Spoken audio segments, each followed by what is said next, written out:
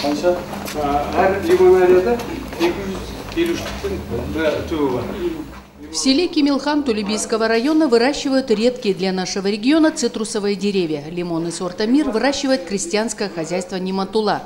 Плоды его будут собирать уже в этом году. келесі жылдан бастап құда қаласа бір лимоннан Со следующего года думаем собирать с одного дерева до 40 лимонов, а в будущем году до 300 плодов. Для этого нужен хороший уход. Кроме лимонов, крестьяне высадили и пальмовые деревья. Как считают в крестьянском хозяйстве, это выгодно. Одно такое декоративное дерево можно будет продать по цене от 500 до 1000 долларов. На плантации сейчас растет свыше 3000 саженцев. Бес гектар жерге ә, жобалап жатырмыз қазір Бог даст, доведем площадь до 5 гектаров, а сейчас пальмы высажены на 1,2 гектарах.